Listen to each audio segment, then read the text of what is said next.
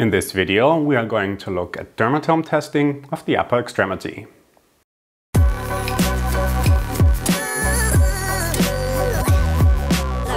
Hi and welcome back to Physio Tutors. Dermatome assessment is an essential part of neurological examination when suspecting radiculopathy as changes in sensation within a specific dermatome may help you identify the pathological disc level. In case of the cervical spine, the most common causes of nerve root pathology are herniated discs, which account for about 20 to 25% of cases, and degenerative disc disease, which accounts for 70 to 75%. While herniated discs, also known as soft disc lesions, are rather seen in younger patients, degenerative disc disease or hard disc lesions primarily occur in the older population, and the highest incidence for cervical nerve root pathology is found on spinal segments C5-6 and C6-7. In their systematic review from 2017, Lemeunier et al. report that a complete peripheral neurological examination when suspecting cervical radiculopathy has a sensitivity of 83% and a specificity of 28%.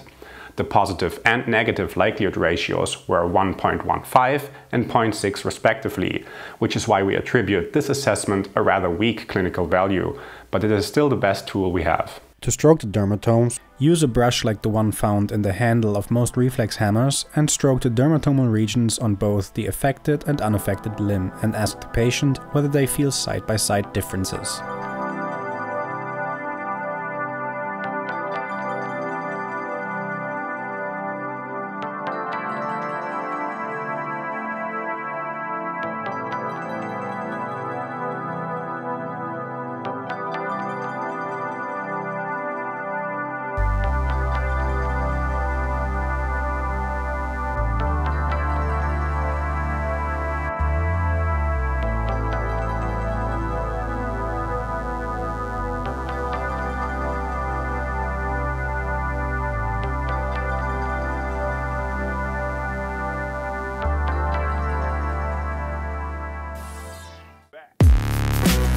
Alright guys, there you have it. The best diagnostic cluster available for cervical radicular syndrome is the cluster of Wainner, which you can watch by a click on the thumbnail right next to me.